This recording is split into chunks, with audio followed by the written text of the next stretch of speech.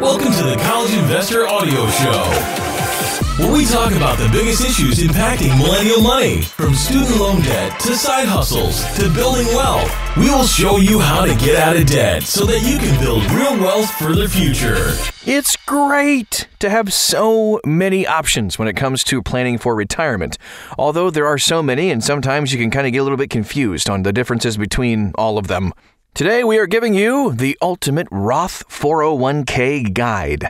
Let's get right to it, shall we? Thanks for joining us, by the way. This is the College Investor Audio Show. More and more companies are now starting to offer a Roth 401k to their employees, which is great. If you have the option to invest in a Roth 401k, I highly recommend it. Unlike a traditional 401k, the Roth 401k allows you to contribute after tax money today. And when you withdraw in retirement, you'll pay no taxes on it. Bonus. However, there are some important things you should know about this account, just like every other tax deferred account. What is a Roth 401k? First of all, the definition. A Roth 401k is a retirement savings plan that combines the best of a 401k and a Roth IRA. This plan was only created into law in 2006, and as such, it's been kind of slow for many 401k providers to offer it. A Roth 401k is great because the employee contributes after tax dollars and, as such, doesn't pay any taxes on withdrawal from the fund in retirement. It's important to remember this, though, that your employer's contributions will always still be pre tax.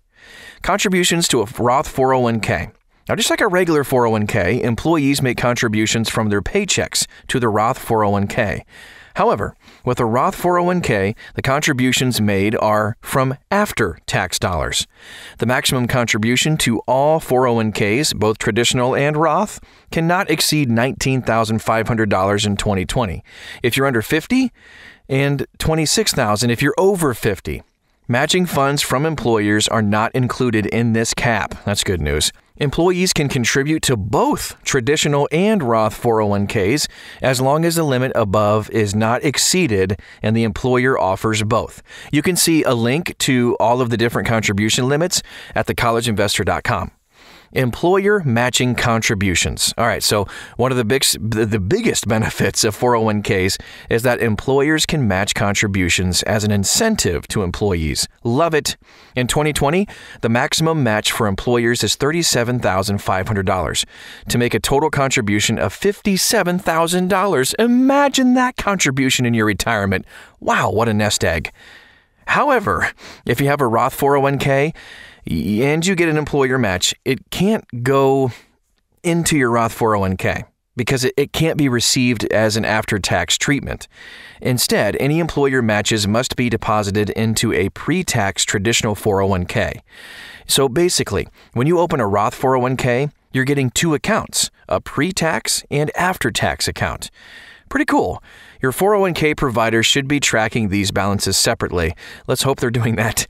Okay, so withdrawals and transfers. Let's hit on that topic too. There are some restrictions on withdrawals and transfers, but they aren't that complicated, so stick with me. First, let's talk about withdrawals.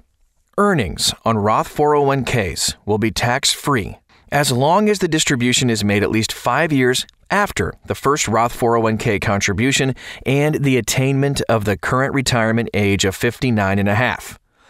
Note there are some exceptions to withdrawing money early, and you can check out the Guide to 401k Penalty Free Early Withdrawal Rules. There's a link to it at, you guessed it, thecollegeinvestor.com. So, as for contributions, you cannot withdraw them penalty free like you can with a Roth IRA. Once you make a contribution to a Roth 401k, it is irrevocable. You can roll your Roth 401k into a Roth IRA upon termination of employment. Finally, Unlike, unlike a regular Roth IRA, you must take required minimum distributions on a Roth 401k at age 70 and a half, just like a regular 401k. Roth Solo 401k. If you're self employed or a small business owner, you can also create a solo Roth 401k. So, you should know this. We're huge fans of the Solo 401k because it allows you to save much more for retirement than other self employed retirement savings vehicles. With a Roth Solo 401k, it's important to remember this you are both the employer and employee.